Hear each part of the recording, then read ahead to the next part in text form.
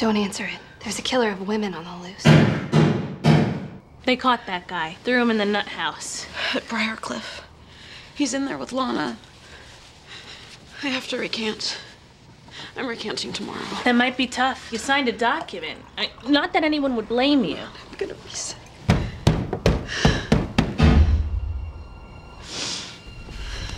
Lois, don't.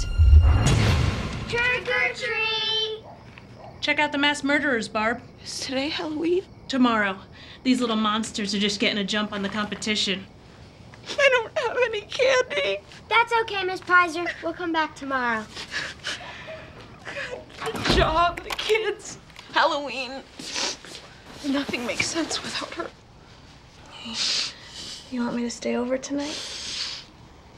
No, I, I'll, I'll be okay. I just need a hot shower and a good night's sleep. So, are you going to move back into your house? Because it's a big place, and if you need a roommate. I have a couple of things I need to tidy up. And when I'm finished, I've decided to move to New York. I can't help but feel this is my fault. Don't do that, Lana. If anyone, it was that nun. Thank you, both of you. I don't know what I would do. Shit. They found us.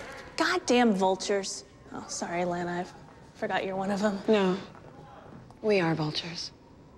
If you don't want to be linked to the Sapphic reporter, you should leave through the back gate. Yeah, I better.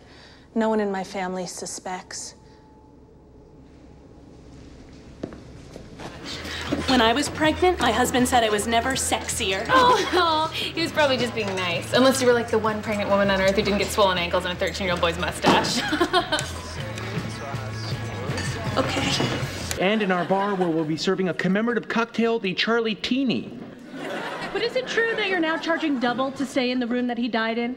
Uh, do we really need all these lights? It feels like a lot. Knock, knock. Hey, everybody, how you doing? Let's get the show on the road. yes. Who's ready to talk college?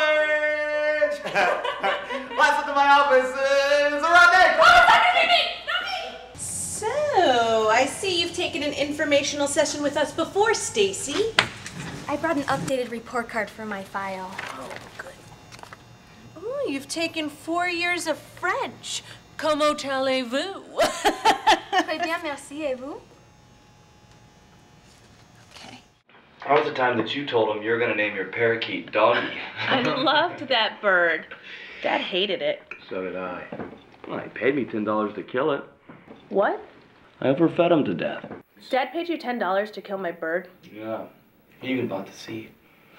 That's so dad. You're a dick. Oh, I have a nickname for Brett. Pervert. The other day I'm wearing this low cut top and he totally freaks out. How old are we, Brett? Uh, I'm 284 years old. Shut up, Brett! Ugh! Like, that's normal.